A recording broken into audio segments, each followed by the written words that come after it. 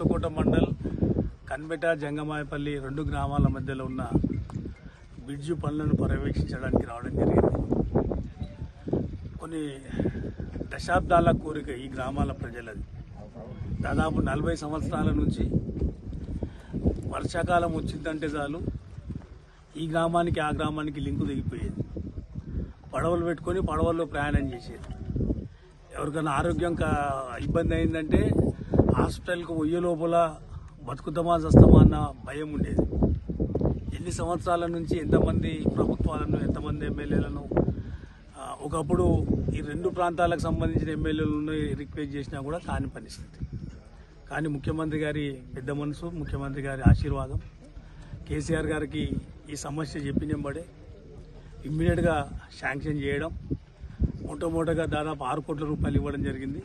జై కేసీఆర్! కానీ దీనిలో దీనిలో ఇసుక ఎక్కువ ఉంది డిజైన్స్ చేంజ్ అయ్యి కాంట్రాక్టర్ సరిగా చేయలేక ఆ డిజైనే చేంజ్ చేసిన కారణంగా మళ్ళీ అది పన్నెండు కోట్ల ముప్పై పన్నెండు కోట్ల ముప్పై లక్షలకు పెరిగింది.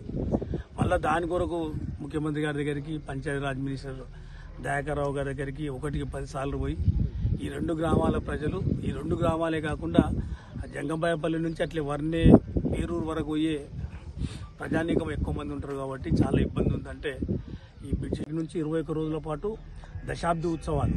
దశాబ్ది ఉత్సవాలు అంటే ఏంటంటే ఒక దశాబ్దంలో ఒక శతాబ్దంలో చేయాల్సిన పనులన్నీ ఒక దశాబ్దంలో ముఖ్యమంత్రి గారి ముందు చూపుతోటి చేయగలిగినాం. ఒక ఎమ్మెల్యేగా మేమే అనుకోలేదు మా చేతుల మీద గిన్ని పనులు అయితేలే అయితే కానీ మేము ఏది అడిగినా ముఖ్యమంత్రి గారు కానీ మంత్రులు కానీ ఏ ఏ డిపార్ట్మెంట్ని అడిగినా కాదనకుండా ఈ నియోజకవర్గానికి సాయం చేస్తున్నారు కాబట్టి వాళ్ళకి ఇంత గొప్పగా పనులు జరుగుతూ ఉన్నాయి. అందుకే ఈ ఇరవై ఒక్క రోజుల పాటు ప్రతి గ్రామంలో ఉన్న ప్రజానికం రైతులు కావచ్చు కార్మికులు కావచ్చు మహిళలు కావచ్చు యువకులు కావచ్చు మనం ఈ ప్రభుత్వం వచ్చిన తొమ్మిది సంవత్సరాల్లో ఏ వర్గానికి ఏమి లబ్ధి చేకూరిందో దానికి సంబంధించిన ఉత్సవాల్లో మీరు అందరూ పాలు పంచుకోవాలి.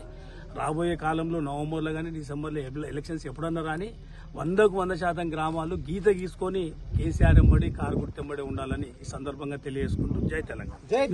జై కేసీఆర్.